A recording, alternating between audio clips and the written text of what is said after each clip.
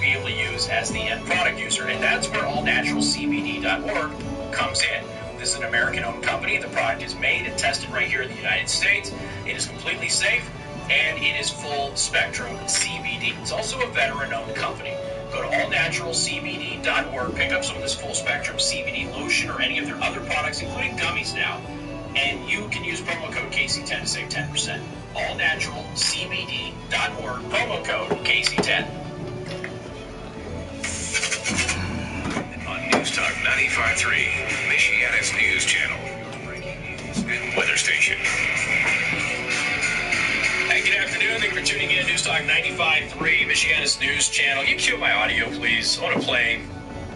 I- uh, I'm going to apologize in advance. You have to listen to Joy Behar talk for just a smidgen. I promise it's relevant, okay? Because I know a lot of people are like, oh, dear God. Trust me, it's I, it, gets worse. I could play you the Hillary cackle song again if you really want to. We can we can go down that road if you want me to. I, we can't, but you have to listen to Joy Behar. She is obsessed with Tucker Carlson. You know, if Tucker Carlson were Alexandria Ocasio Cortez, he might be posting on social media right now that Joy Behar has some sexy thirst for him. Hmm. Because AOC loves posting that.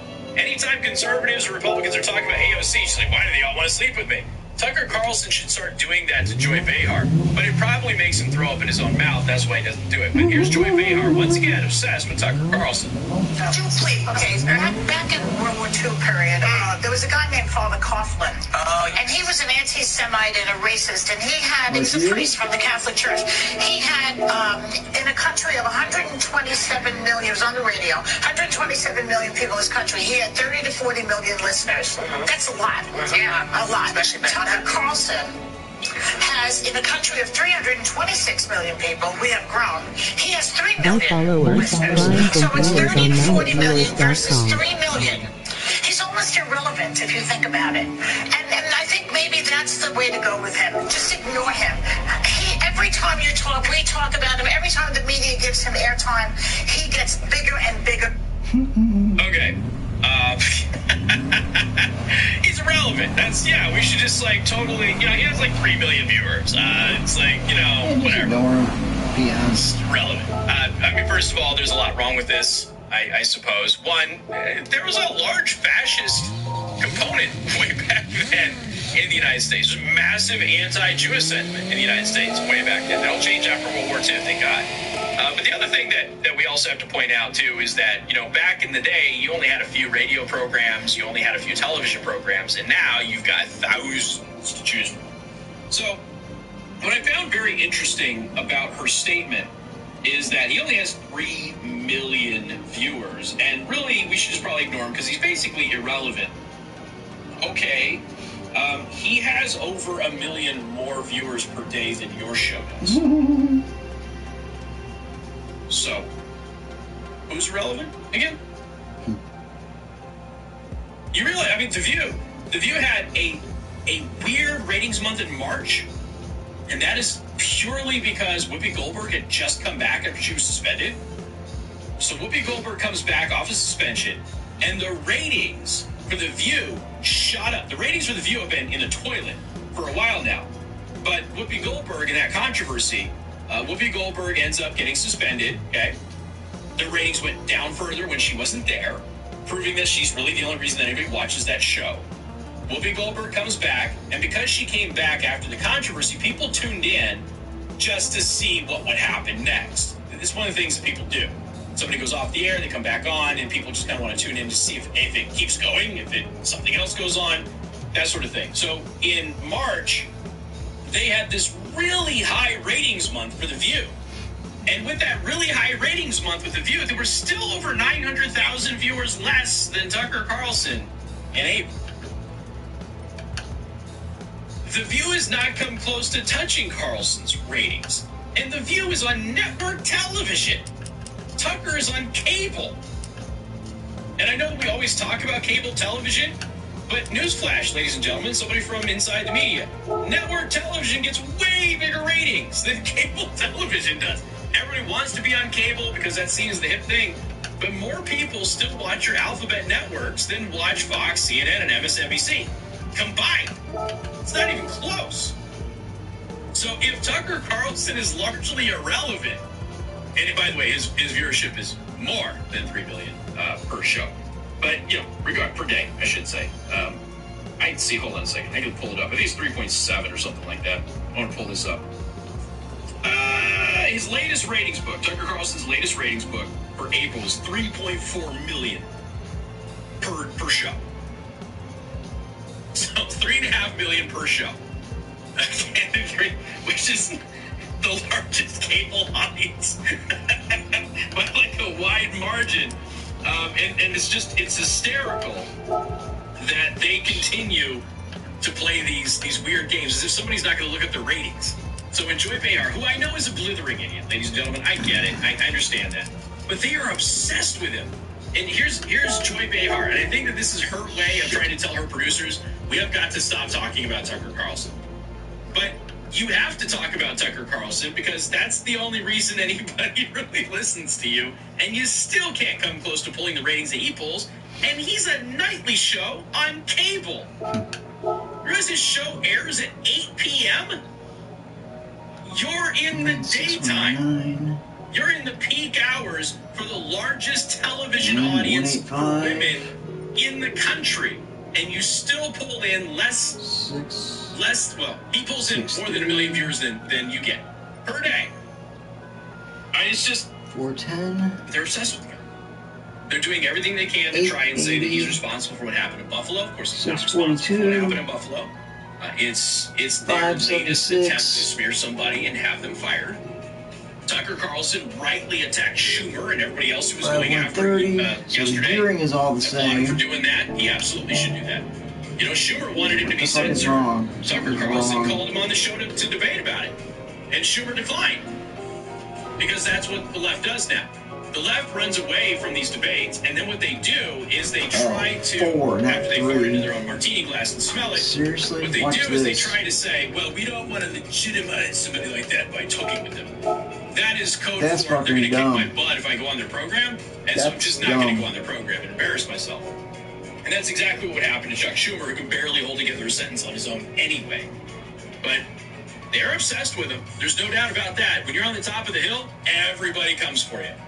Nobody talks about you if you're at the bottom.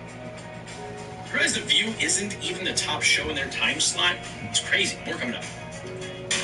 WTRC FM and HD1, Niles, South Bend, Elkhart. News Talk 95.3, Michiana's news channel. Your breaking news Arrgh. I forgot that I didn't save his ratings in my my uh, show prep thing. I saved it on my phone. I had to pull out my phone to pull it out.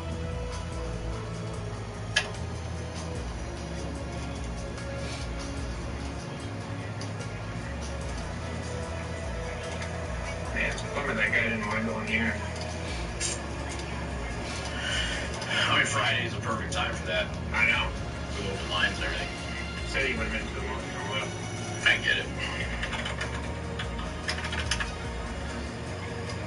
Yeah, it makes sense. I thought he told me the other day that his birthday was Friday, though. And I, I was kicking myself after the show for not suggesting that. And he called back on Friday. Well, yeah, I mean, I'd like to know about the flyover if it's in the news anywhere. Yeah, me too. That would be great. Because then, you know, we can link to it. Yeah, I mean, we can't. I, I don't think it's something we can write right now because you don't.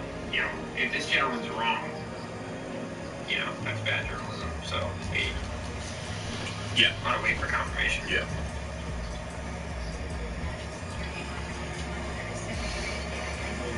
Kids being smart. Oh, oh did Gutfeld surpass him? Hold on. What? Hold on a second. What? Last I heard, Tucker was was the uh, the ratings king, but I wouldn't be surprised if Gutfeld passed him. Wow. Huh. Gutfeld's got such a good show. It it really is a masterpiece.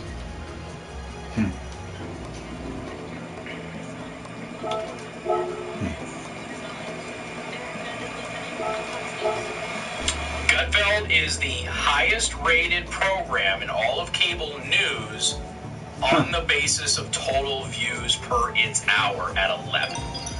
You're right. Very good. I will, I will correct that. Did you see that Gutfeld apologized to his audience? Such a baller move. Because they, they basically, what they did is they moved Gutfeld's show off to cover the election.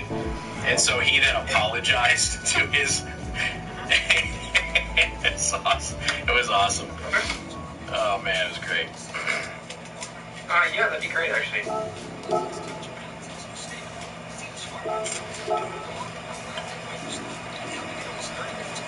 us. What's a good email address for us, Casey? I don't know what's your email address. Uh, just, just, uh, we'll just send it to mine and I'll forward it. Um, so, I uh, lost in mine. uh, C Ben, all lowercase. One two nine seven Uh oh.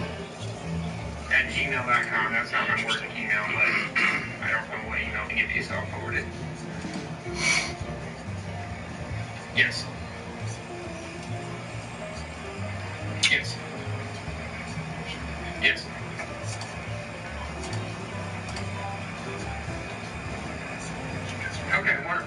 Balance of nature. Got that.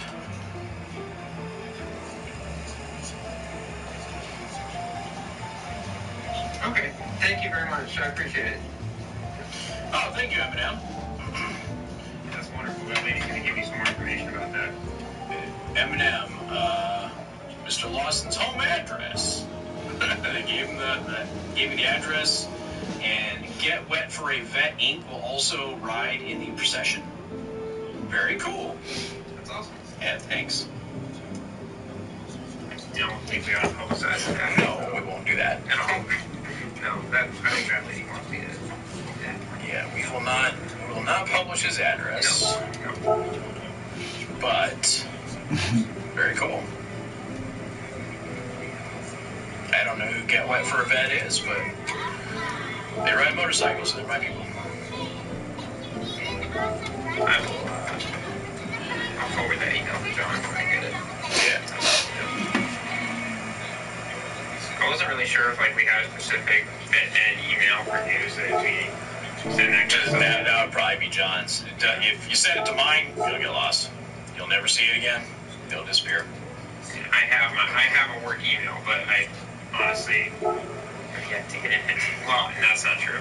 But you know, Well, there will be a St. Joseph County Police motorcycle unit as well. Commissioner Dieter is going to lead that. Ah, very cool.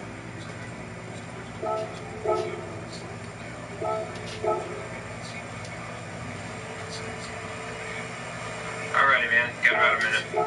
Experience Just coming back. Impressive Jewelry Creations, where Bill Martin and his talented staff have combined 140 Yes. array of beautiful Watch. I know it's time to stretch, but too bad. jewelry, including engagement rings, wedding bands, rare color gemstones, and one-of-a-kind designs for both women and men. Impress offers endless capabilities. So yesterday was quick. Today is slow. Rings to unique use for men, and they specialize in repurposing treasured heirlooms of contemporary pieces while preserving its sentimental and intrinsic value. With four skilled goldsmiths, they use the very latest in modern technology combined with old-world craftsmanship to perform all jewelry repairs and cleanings in-house. Quality jewelry should be created to be meaningful and to last a lifetime. Ask the experts at Impress Jewelry Creations how they can create a new design that artfully connects to a treasure part of your past. The emotion behind a purposeful design seconds. will surely convey the meaning it deserves and that. desire. So experience Yeah, the difference at Impress We're just coming back, right? No commercial? Okay.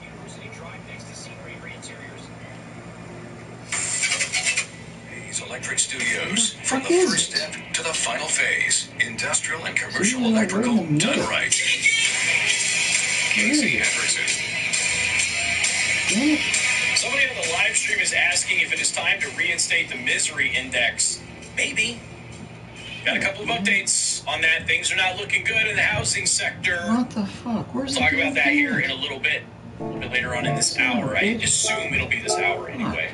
Casey Hendrickson here on Newstalk 95.3, Michiana's news channel. Don't forget you can watch the live stream rumble.com slash Casey the host. Tons of new videos have been posted, many of which are not from the radio show. Go check it out at rumble.com slash Casey the host. Also want to thank R&B Car Company, locations in South Bend and Warsaw. R&B Car Company are your used car experts. All right, Chris Wallace, we got an update. Old Chrissy boy. Remember Chris Wallace uh, had a low-rated show on Fox News Sunday morning. Can't see. Was perpetually the worst-rated cable Sunday morning show. Decided he was going to jump ship, go to CNN, not just CNN, but CNN Plus, and he thought that was a wise decision. Of course, we laughed about it many, many, many times on the show. CNN Plus Okay, I can't closes less than one month in operation. Chris Wallace is apparently having daily hissy fits about this. I don't know if those are true. It's just a rumor, and I choose to believe that they're true. And next thing you know, I was like, hey, the smart move, okay? The smart move is to make Chris Wallace a part of the primetime lineup for CNN. The one question I had is I don't know if Wallace wants to actually work for a living. I don't think that he does. I think that he just wants to be a part timer. And yeah, it, it appears so. And, and here's the thing: as much as I don't like Chris Wallace, Chris Wallace is a massive upgrade over anybody else in CNN's lineup. That's the truth. He is. Okay, so, so even if he's not great, he is a big upgrade. Well, he's gonna get a show on CNN, regular CNN this time, not obviously CNN Plus, but it's gonna be Sunday night. So he left Fox News for a demotion to go to CNN. But he went to CNN Plus, which is even a demotion from CNN. And then when they did put him on regular CNN, it was a demotion from where he was on Fox because now he's on Sunday night instead of Sunday morning, which is a much worse time slot, by the way. And, just, I don't know what this guy is doing. I, you know, you, at this point, I don't know if he plays golf, but he should probably just hang it up and go play golf and just grumble to himself and you know bore the poor cart girl, well, cart lady, because not all of them are girls. You know, the bore the poor uh, cart lady to death with his tales of how he thinks he's been amazing and a legend in news and all that other stuff. Uh, he's not his dad. We all know that, but he is going to get a show Sunday night on CNN, but only Sunday night. He'll probably, like he did with Fox, occasionally show up on some other stuff as well. MSNBC, once again, showing war footage from Ukraine that actually is a video game. Why does this continue to happen? This time they are blaming uh, MSNBC. They're not blaming Ukraine's Ministry of Defense. So I've got to make that dis- distinction there because Ukraine's Ministry of Defense has been the guilty party here throughout the entire war of sharing fake videos of their military operations against the Russians.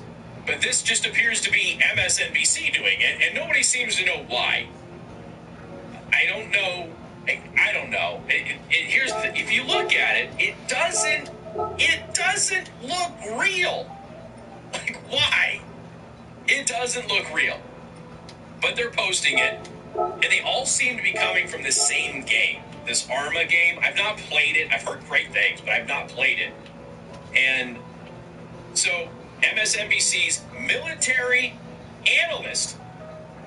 It's one thing if it's, you know, Mad Cow, but their military analyst posted it. Okay, look, I'm old fashioned. This this might just be the old veteran in me. Shouldn't the military analyst be able to decipher decipher decipher I use the right syllable. Shouldn't a military analyst for a major news, air quote, news network be able to decipher if something is a video game or if it's real? Isn't that kind of their job? So he posts this video, which is a video game. And then several other people who are blue check mark brigaders, Max Boot, one of them, reposted it. Like, what is going on? What is going on? This is so bizarre. But it continues to pop up. I, you know, who knows? Maybe the deepfake videos are going to have a bigger impact on our society than I thought they were. It's, I didn't think, I knew they would have an issue. But deepfake videos, I always assumed that people would relatively quickly be able to figure out that they're not real, right? But now I'm not so sure. I think people just kind of automatically, you know, assume it's compression with the the uh, the big tech platforms and that sort of stuff, and then they just repost it. So MSNBC posting this stuff, Max Boot again reposting it, other blue checkmark brigadier journalists reposting it, further spreading fake news that this was a, an actual operation of Ukraine against the Russians. It was not. Speaking of fake news, now remember. Elon Musk has kind of put a pause on his purchasing of Twitter because he wants an, an analysis done on the number of fake Twitter accounts. Now we've talked about this for a number of years. For those of you who don't know, the vast majority of Twitter are derelict accounts. They're not real, or they are real but no longer in use, as in the people have left the account. It's just sitting there. Okay, it's not active. Nothing is being posted to it. There's tons of bots, and the general number of Twitter users is considered to be much smaller than the actual number of accounts that are on the platform. When you look at the news and political sector, in particular, like 1 to 2% of the accounts are responsible for like 90% of the content. And that's anybody who's active on Twitter. So, a very, very, very small number of people are actually driving any political discourse on Twitter, which already tells you a, lot about our society. But one of the things that Elon Musk wants to figure out is really what's the total number here? Because it might affect his offer, right? If he finds out that, hey, I'm basing my offer, even though it's above your stock price, you know, because of the number of, of active accounts that are there, but those active accounts are maybe half or something like that, then I may need to adjust my offer. So they're doing that. He's still going through and buying Twitter. It's just a pause while that audit is being done. And in the midst of all of this, we find out that 50% of Biden's Twitter followers are fake. Now, politicians always have a large number of fake followers. This is very common. Celebrities, politicians, they always have large numbers of fake followers. They're almost never organic, okay? And this is Garfield, this is a what you lot, doing, though. dude? I think Hillary Clinton's like 18 or 19 percent or something of that nature. What are you doing, 50 percent is staggering. Good kitty. He's got almost as many fake followers on Twitter as he has legal vote, uh, votes in the uh, the election. It's crazy stuff. So half of Biden's Twitter followers are fake, according to an audit tool. And these tools vary, um, but you know, people people always check you know prominent people's uh, Twitter accounts. It's it's fairly normal, but it's just such a high number. Uh, Musk said that the number of fake accounts on Twitter was close to about 20%, which is four times higher than Twitter claims. So, on the average, okay, Twitter has about 20% fake accounts. Biden has over 50%. Not a big surprise, though. Joe Biden's not exactly a guy who connects with younger people. Uh, there's lots of younger people that are on Twitter. Twitter does seem to be pretty diverse in its age. Facebook, much older. You know, Facebook is basically stuck around with the older generations, while younger generations have moved on to different platforms because they want to get away from platforms that mom and dad are on. That's really why. Mostly because your sweet little angel, who I know would never do this, wants to show her backside and get supplement endorsements. That's what she wants to do. I get supplement endorsements without showing my backside. Would I show my backside? Sure. For the right amount. Uh, but yeah, 50%, which is just a crazy high number. And do with it what you will. You know, everything about this guy is propped up by the machine and isn't authentic. I don't know what else to say. More coming up, Newstalk 95.3, Michiana's News Channel. Casey Hendrickson. 95.3 MNC. No one wants to see that. You'd be surprised. Uh, There was a time my tush was in demand. okay, so that thing I just forwarded to John is not entirely useless, but it's only got the guy's address and the phone number to call.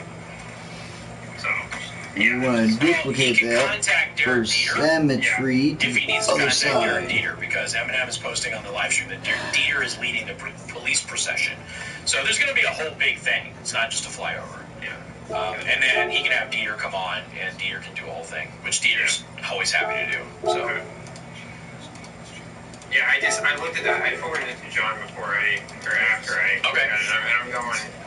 Okay, that's just his address. Like that's nothing we can use. And then I saw there's a phone number, so Yeah. you know, at least get some information from whatever. yeah, and your best bet would probably be to, you know, probably go through Dieter just because he's you know commissioner and he'll be able to you know one as a public servant come on and talk about it, and then as a law enforcement officer he'll know not to out the dude's address and stuff like that. So Yeah, yeah. You can't always yeah. trust freedom. But they're asking people to kind of like, you know, meet up because I think that you can participate. So that might be a part of why the address was shared, was that you can kind of meet up and, and do a whole thing. Yeah. So, Well, I mean, if we were a TV station, we probably would be able to. yeah, and, you know, it, I just have a policy of not publishing people's addresses. Well, you yeah, know, I mean, you it's, should. yeah, it's um, Yeah. not that it's necessarily wrong for them to share it with us. No. But yeah, no, we're not. We're not publishing that. Yeah. That's that's yeah. It's like you live on the sunny side of the street. There's too many crazies out there, man. Yeah, like that weirdo who sent me a letter from like Arizona or something. When I was on Tucker Carlson, they tracked my home address down. Well, when you go on national media like that, I'm sure you weren't surprised. That's not cool. No, usually they send it to my work. They don't send it to my home. Yeah, that's that's not cool. Thousands of different plants, flowers, and Yeah, went right in the trash. Well, I mean, where you work is public. So Oh yeah. Well, I mean, I don't hide. It's like you know, whatever. It's easy to find somebody's address if you know what you're doing. yeah. The problem is it takes effort. So it's like you went through the effort to find my home address instead of just sending it to my work address. Well, yeah, At that point, makes- it's like what I'm makes gonna that- throw stuff What makes that worse now, though, is they have, you know, they have the potential. They know where your kids live now. They know where your wife lives now. Like that's got to be what bothers you. Yeah. You know, you got favors beat windows, by the way. Yeah, and that's that's why the last person who came, we've talked about it a couple times on the show. I, I get people occasionally to knock on my door, and everybody who knocks on my door has a gun pointed at them. They don't realize it, but they do. Um, I think the last the last person who did it, I think they realized that they had messed up. They crossed they crossed a line.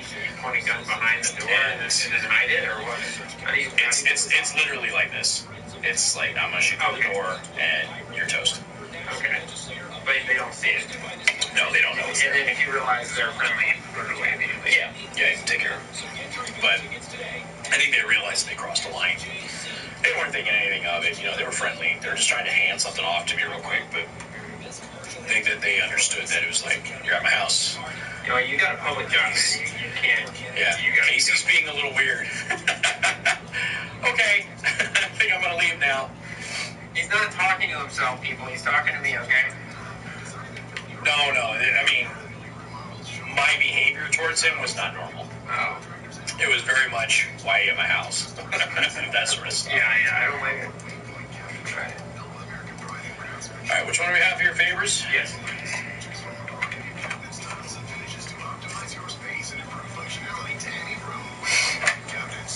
Ninety-five three MNC. Okay.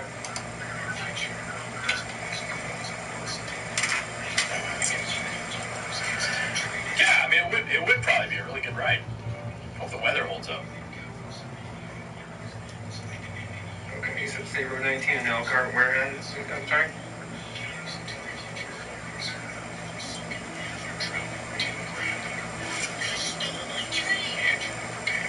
What's up, Red Wing? So zero nineteen, um, about the intersection County Road twenty-four. Hey, everybody, Casey Hendrickson here for Favors B Window. When I was a wee little lad, Favors B Window was out there installing brand new windows and doors on homes, improving their curb appeal, improving their property value, which is going to be ever increasingly important as we go forward. We'll have more information on that later on in the show. Favors B Window, first of all, these windows are going to save you energy. They're going to improve the amount of noise pollution that comes from the outside into your peaceful home so you can have more peace and quiet and not have to worry about noises from the street or the yard or the neighbors or anything like that. And again, they're going to look better. So you're going to improve your curb appeal, which you're going to make more people interested in buying your home to retain its value and maybe even improve its value. But Favors B Window also does bathroom remodels and porch conversions and siding and doors and tons of other services. And right now, all products, all of them, up to 50% off with special manufacturer rebates with qualifying purchases, plus 15-year unsecured financing up to $100,000 or 22 months, no interest and no payments. Go to Favors B Window, bwindow.com, bwindow.com. Set up your free consultation and let them know that I sent you. Top news, weather and traffic during Michiana's morning news on 95.3 MNC, your breaking news and weather station.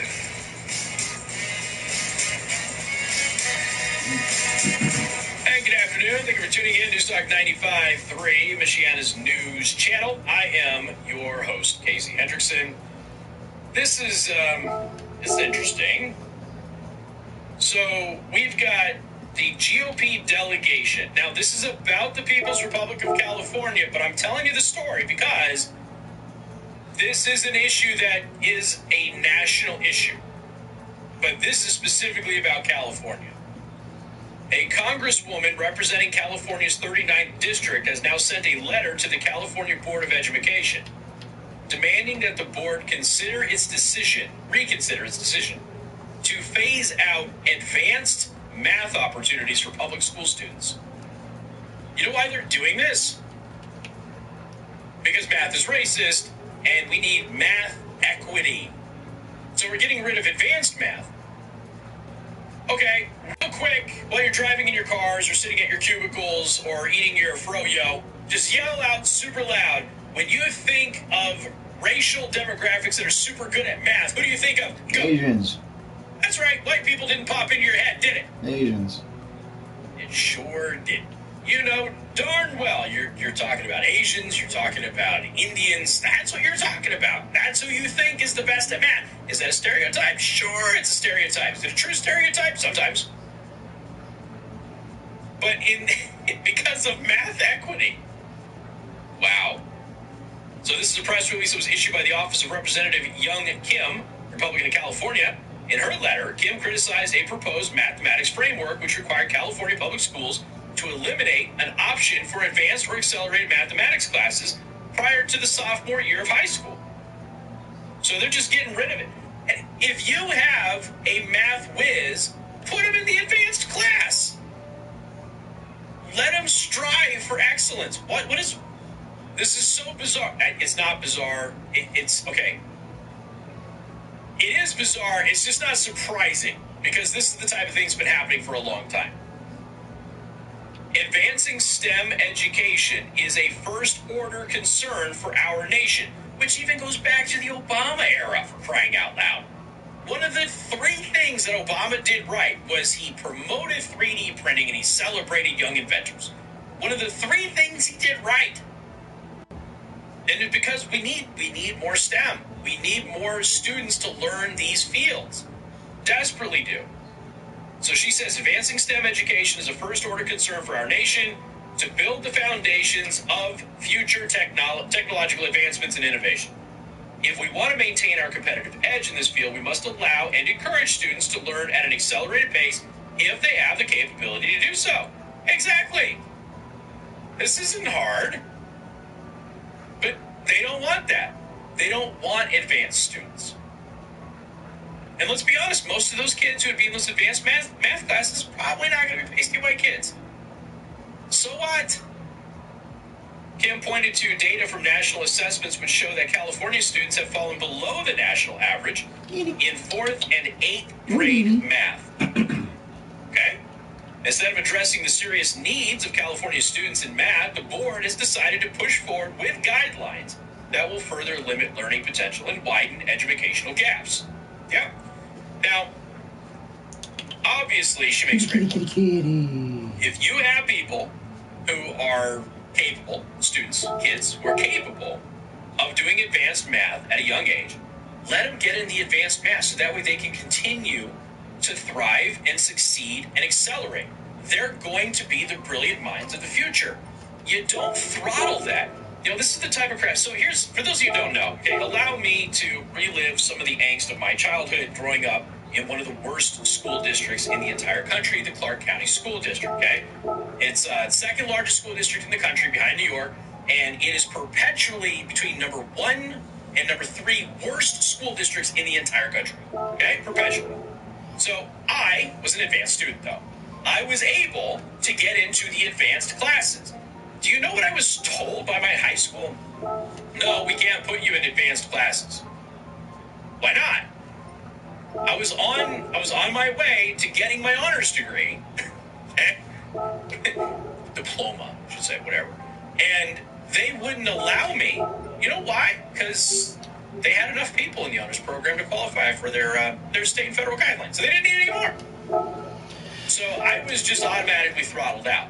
Now, looking back on it as an adult, there is a part of me that wonders if it was because of the color of my skin. Uh, I don't know.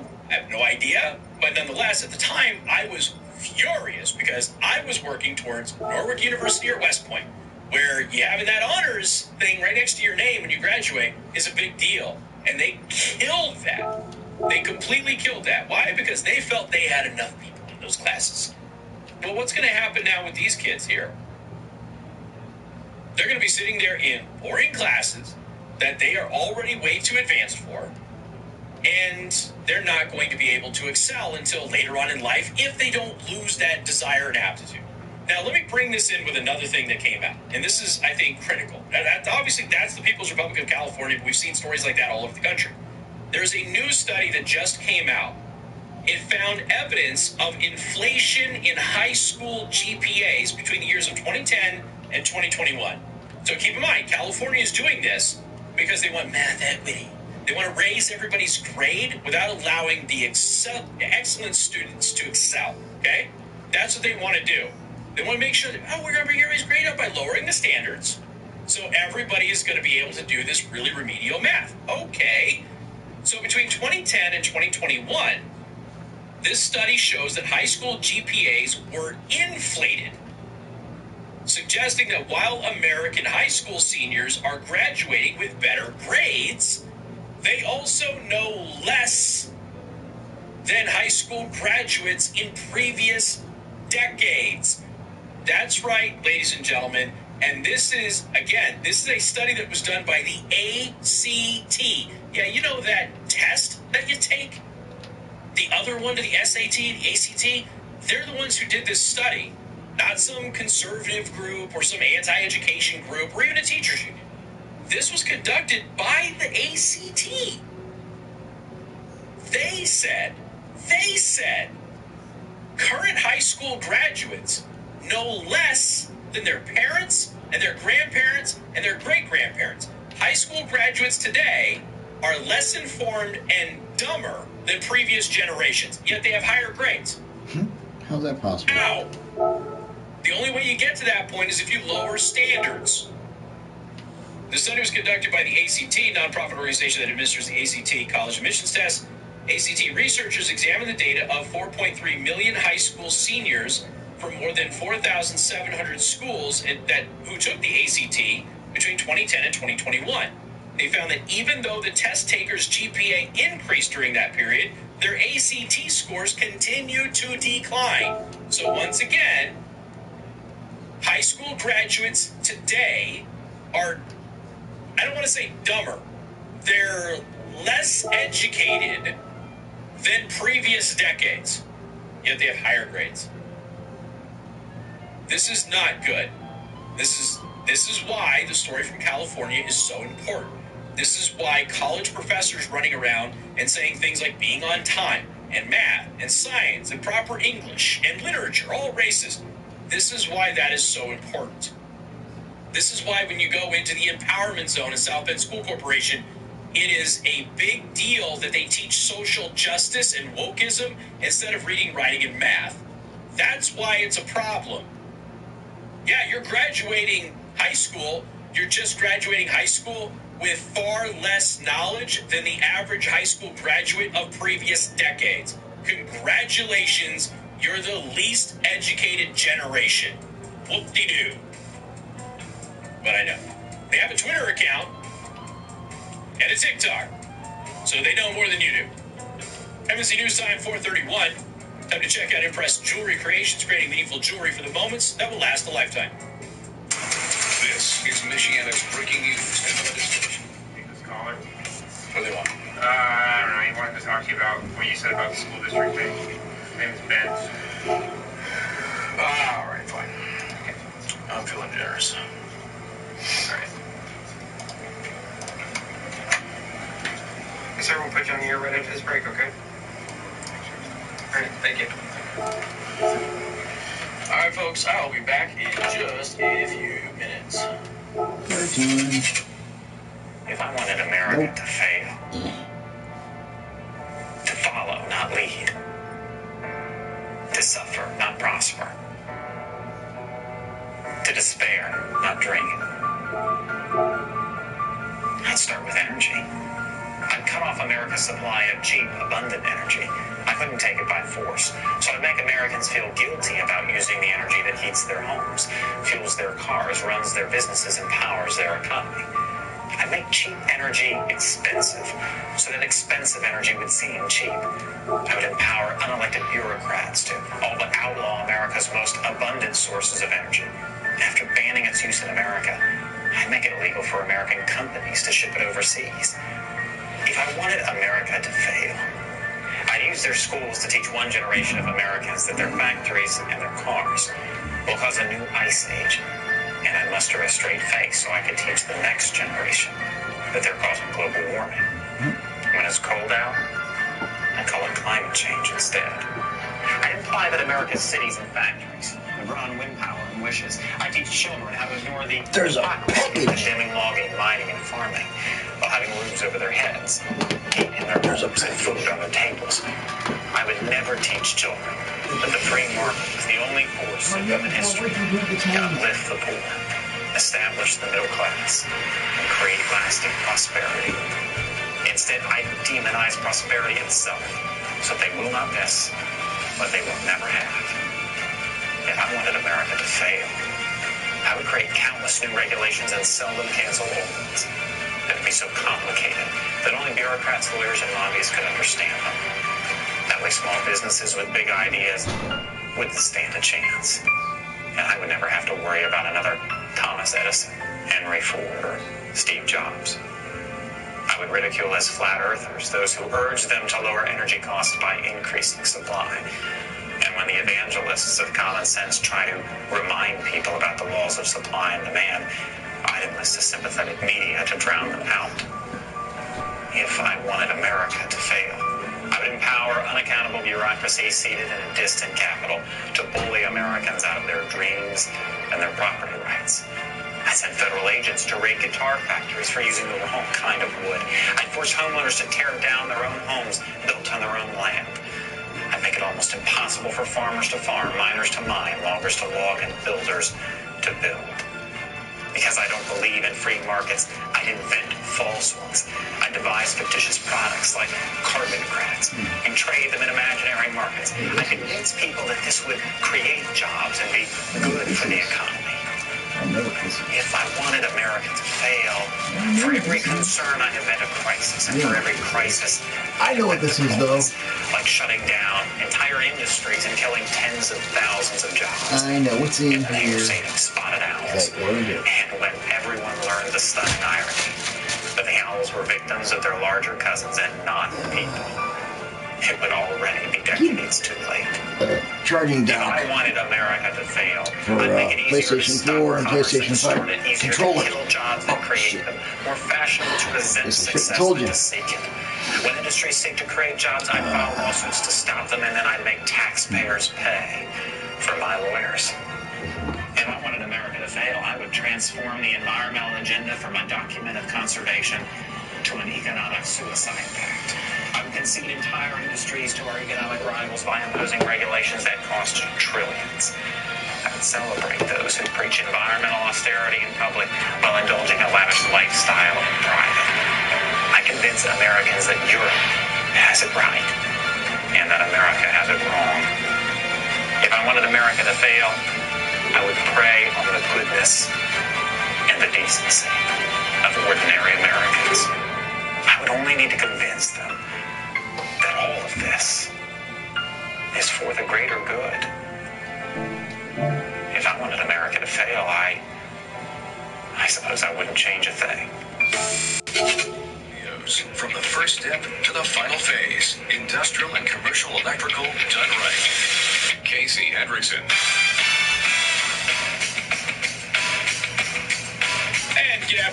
You're tuning in Newstalk 95.3, Michiana's news channel. I am your host, Casey Hendrickson. Uh, let's see, what do we have here? Oh, got to thank RB Car Company, locations in South Bend, Warsaw, Columbia City. Go to rbcarcompany.com. If you do go to one of their dealerships, please let them know that I sent you.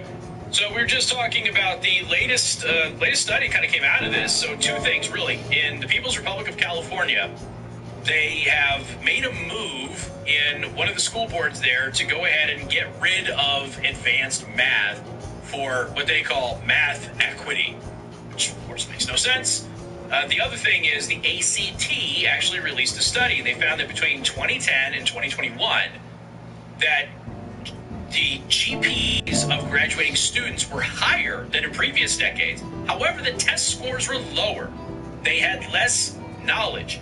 And I'm reminded of an old story from 2007. Let's go think do it a was quick run because we got to feed the cats at the top of the hour. But what ended up happening is uh, there was a Five massive study for several years in a row where they would study high school graduates who are going to college, but before they went into college, they would give them a civics test. It's already on. And then after they graduated college, they would give them the same civics test. And they ended up finding out that what was happening is high school students had a pretty good grasp of civics. College students, the same students four years later, didn't. Hmm. So they were going into college and actually losing civics knowledge, Hmm. which explains a ton in our Hmm. society. And they did that study for several years in a row, and the results were always very similar. And uh, I have an old article from the New York Sun from 2007, which kind of covers some of that, which I can link in the daily show prep for everybody, if you are so interested. I do have some people want to call about this, so if you want to call the Glass Doctor of Elkhart and St. Joseph County phone line, you can certainly do that. 574 25 95 95 3. That is 25 95 953. Ben, welcome to the program. Good afternoon. Hey, Casey, how are you? I'm doing well, man. What's up? Um, I'm, I'm, I'm putting on my tin, tin hat for you. Okay. Um, I suspect the, uh, 115 miles. one of the reasons that they're getting rid of these advanced classes is a lot more insidious than just the uh, math equity. Um, I'm sure you're aware that if you take um, a very advanced kid and you don't keep, keep challenging them, keep them on their toes, they they can become a problem real quick. I mean, the old adage is that a a, a lower level IQ kid will be a problem or can be a problem child. However, they're not going to create complex problems. They're going to create very simple ones.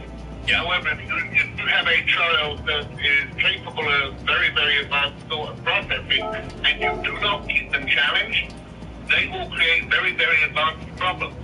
And by so doing, by doing this, they're, they're basically Really? changing or Come on, to change man. the problem creating group and create problem equity as well.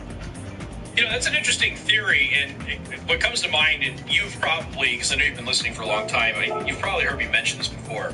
Uh, when I was in high school, the smartest people I knew were the stoners.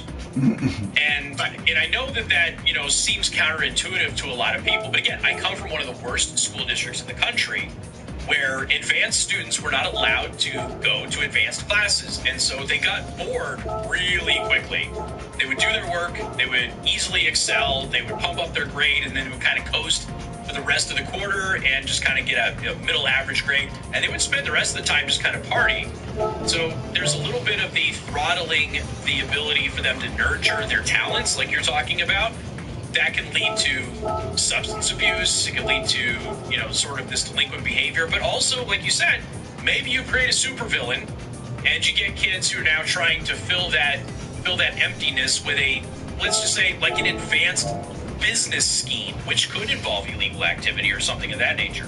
We've seen that a lot. I worked with, Casey, a guy worked with when I was at Redstone Air Force Base, Huh? um, he, he created a company in Edinburgh, Scotland, created a company called Mindstream. And the whole premise of the company was to look through high schools, etc., for kids that are going off the rails. Because what he proved, and, and statistically this is correct, is that um, if you have a child that is going off the rails, it's probably because they're bored, of, bored out of their core at, school Yeah. which probably is a good indicator that they are in fact not very good at thinking inside the box. Well, what's the old adage about successful business people? They have to be able to think outside the box. Which is one of the reasons that um, people with simple learning disabilities, such as um, your baseline reading ability, uh, John Cisco's chambers was dyslexic. And in fact, there's a very high correlation between dyslexia and, and success in business. And it's simply because the, the, you're not less intelligent if you're dyslexic. Right. You just don't see things the same way as everybody else. Exactly. That makes you a very good entrepreneur. That makes sense. Uh, and then, you know, just to throw it out there, yeah, just to throw it out there, I mean, the latest thing with uh, Elon Musk is, you know, the Asperger's and, and all of that stuff, because, you know, that, that Project Veritas. Yeah, look at look at look at Mindscreen in Edinburgh. Um, they they look, they're looking for kids just like that, and they, they turn them into great success stories. Mind Screen. Yeah. Okay. Um, the, the guy I used to work with, his name's Gavin Devereaux. Look, look up the company. You'll you'll be interested in what they do. Got him. Already got him. Thank you, man. I appreciate it. No worries. All right, take care. Yeah, that's very interesting.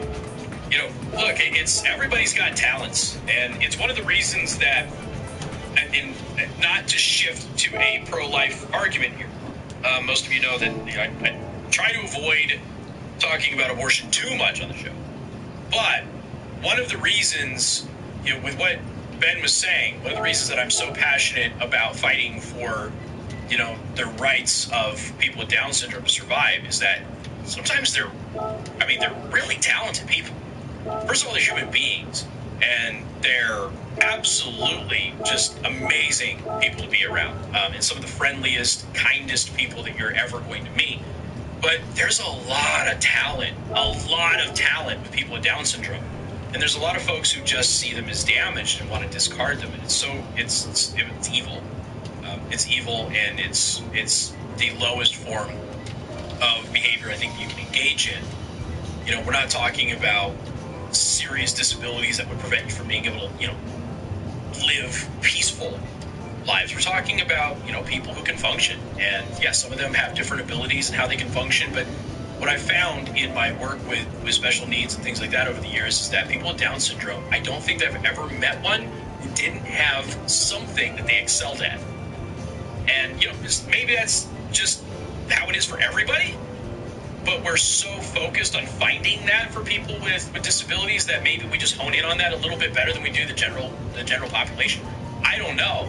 But it just seems like every time I'm in an environment with people with Down syndrome, they all have something that they really excel at. And it's amazing to watch because they really do go just right after it. I mean, super amazing and inspiring to see. So yeah, it's I didn't know about that correlation with dyslexia in business, but it makes sense. You have to think outside the box. You have to adjust. You have to adapt. All things very necessary in a business environment. Um, and again, you know, with the Twitter situation with with uh, this Twitter engineer, or was he an executive? He was an engineer, not an executive, making fun of the Asperger's of Elon Musk and all of that stuff. Richest guy in the world, okay? Richest guy in the world, super smart, not always right. Nobody is, but super smart guy knows what he's talking about, um, and clearly that has not held him back. So very interesting, very interesting to take a look at. But you know, all of the things that I've talked about, and we went over this in the early show today. Extra stories about how they're they're coming for your kids, and one of the things that I brought up was the massive increase in homeschooling that is happening right now, particularly in the black community. Mean, it went from five percent to over sixteen percent homeschooling, massively for the black community, which is going to just pay so many dividends for them. But part of this is people are seeing what public education is doing, and they don't want any part of it. Got more coming up. Newstalk 95.3, Michiana's News Channel.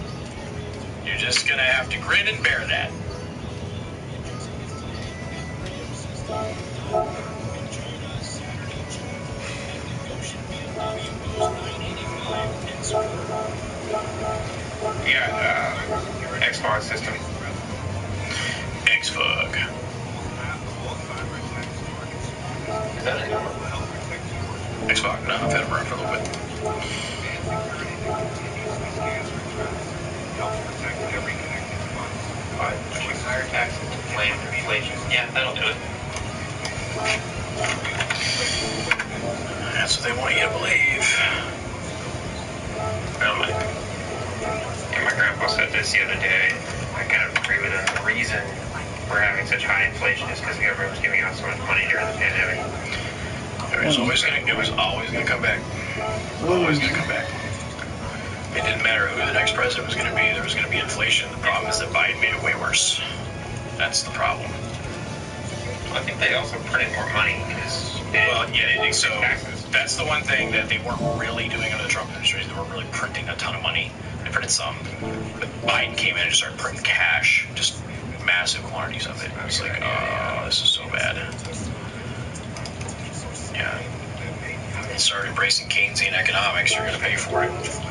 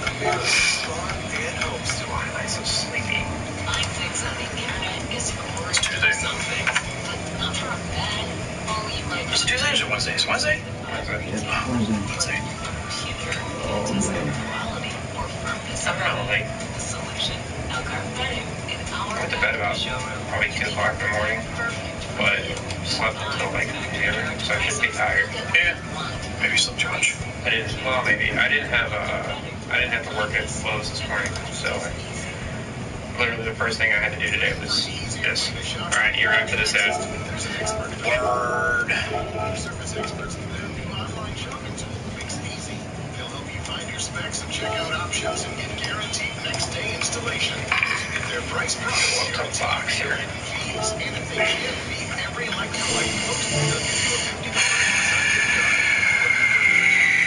There's an expert for that. Find out at bwcook.com. Everybody, Casey Hendrickson here. By now, it's no secret. One of my favorite shop tools is Xfog. It is the thing that keeps me safe. It protects my digits while I'm working with heavy machinery, and it protects my eyes so I don't have to, because I don't have to take off my safety glasses to constantly wipe the fog away. Xfog is the best system to prevent fogging eyeglasses or goggles or safety glasses that exists in the world, period. You can go and buy the stinky chemical stuff that'll irritate your eyes and constantly have you irritated, which will force you to take your, your safety glasses off and rub your eyes anyway. You can spit on your glasses, which is disgusting and doesn't work anyway. Or you can deal with fog, where you're constantly taking your glasses off, which interrupts your work, interrupts your productivity, and puts your eyes in danger depending on your environment. Don't do that. Go to xfog.com. E X F O G com and pick up an Xfog system today.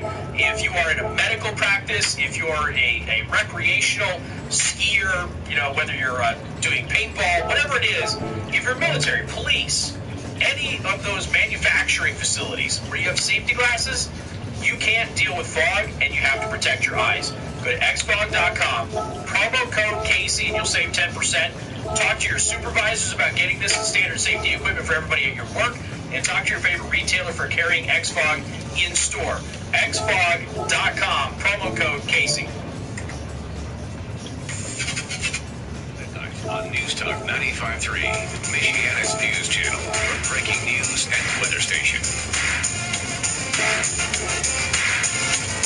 good afternoon. Thank you for tuning in. News Talk 95.3, Michiana's news channel. I am your host, Casey Hendrickson. We want to thank you all for tuning in and joining us today. A lot of new video content on Rumble has been uploaded, so make sure you go check that out. Rumble.com slash Casey the host. Of course, we have the live stream going right now. All right, let's talk about the uh, domestic, ter- domestic terrorist organization known as Black Lives Matter.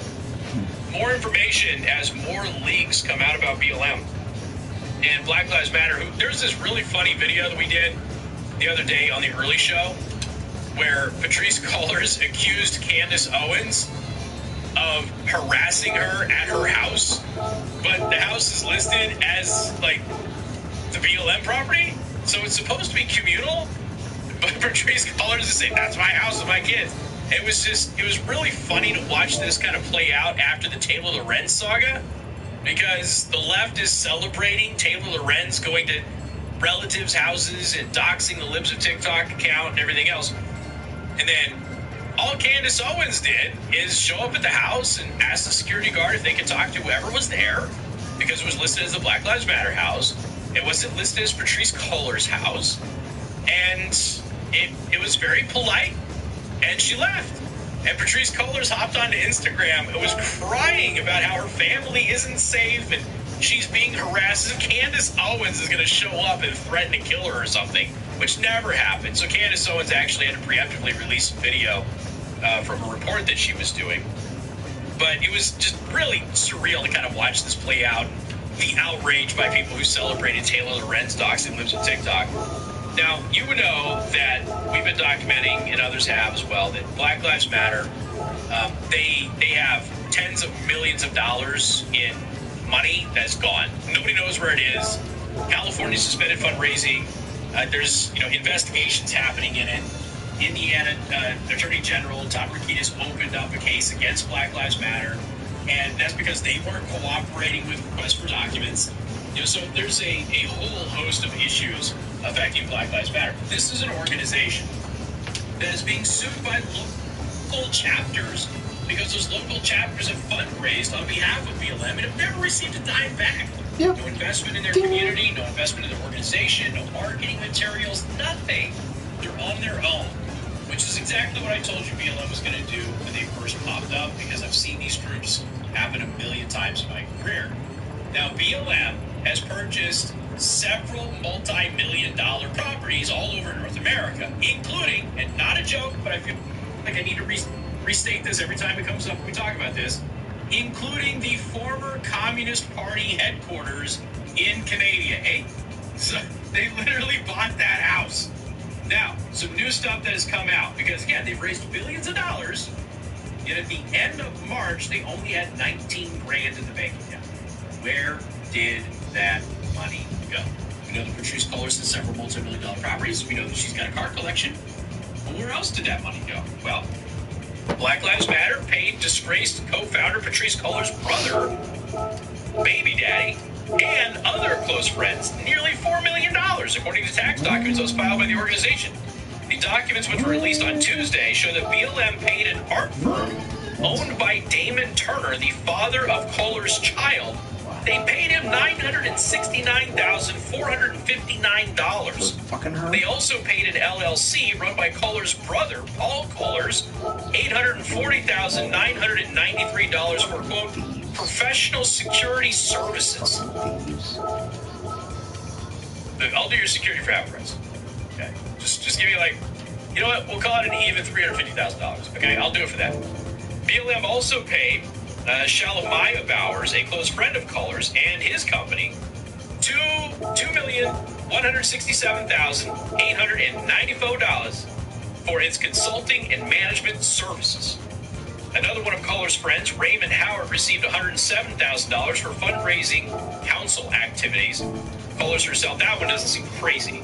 Cullors herself billed BLM $73,523 for charter flights from June 2020 to July 2021, though BLM has claimed Cullors repaid those expenses sometime after July 2021.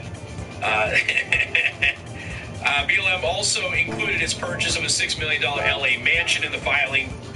In total, the organization spent more than $37 million on grants, real estate, and charter on private flights, according to the tax filings. The documents also show that Cullors ultimately had exclusive control over how BLM's funds were spent, since she was the only member of BLM's board of directors from July 1st, 2020 to June 30th, 2021 which is the time frame covered by the forms. Are you starting to get it now? Because I know there's still some of you out there who think that BLM is is really fighting the good fight, that their mission is honorable. I know that there's still some people out there who believe this. This is who they are. This is who I told you they were going to be when they first showed up after Michael Brown shooting. I told you exactly who they were and what they were going to do. And again, I, I've just I've seen these organizations on the left and on the right happen dozens of times throughout my career, and it is always the exact Are you same. hungry? This is how you set up these these money schemes, and BLM has set up a money scheme. Now, they're they're basically getting set to fold this organization, and they're trying to do what they can to get everything out of it. That's kind of what it looks. It's what it looks like to me, anyway. There's always a chance that something comes up and they decide to make a big heyday out of it. Uh, but BLM looks like uh, it, it looks like she's got her money now, and she's she's going to just kind of settle down and not worry about the fight anymore. That's what it seems like. Billions of dollars raised by this organization, and they are out of money. Billions. Yet, very few local local branches can say that they were actually given anything substantive. You gotta say something, right? Don't forget you can follow me online, rumble.com slash Casey the host. Hit that subscribe button while you're over there. Tons of new video content been uploaded this week. Lots, lots of videos this week, actually. And not just the radio shows. Go check them out. Get rumble.com slash Casey the host. Go to theburning.truth.us. Get the daily show prep, podcast, videos, and more. And also sign up for my free newsletter. And don't forget, Pass the Mic is this Friday. More details on that coming up. News Talk 95.3, Michiana's news channel. WTRC.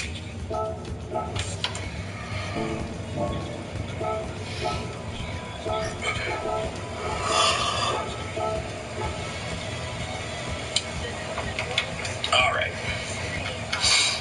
Okay. Well, I uh, forgot to save that last segment, so that's eight and nine. Okay. All right, folks. I'm gonna play some music. I'll be back here in a few.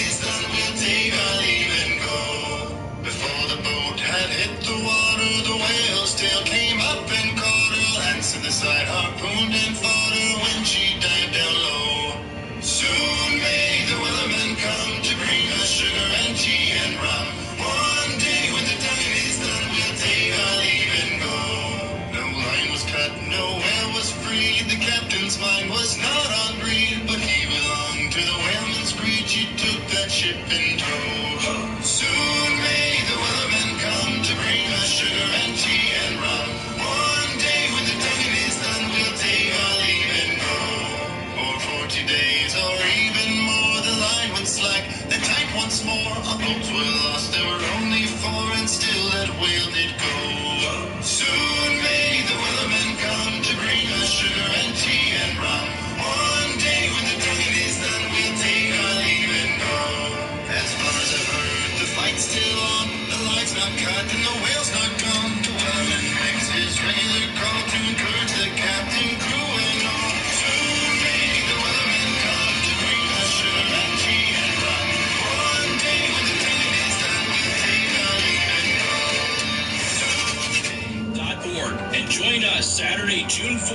4th at the Goshen VFW Post 985 and support. From the Final Phase Electric Studios, from the first step to the final phase, industrial and commercial electrical done right.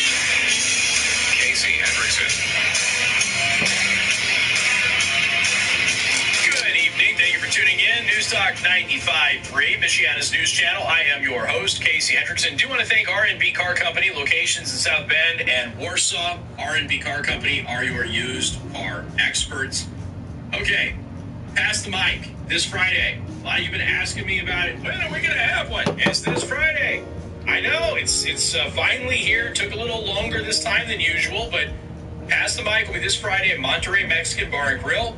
Once again, you come inside, you head right up those stairs to your right. We'll be upstairs, taking over that entire upper level.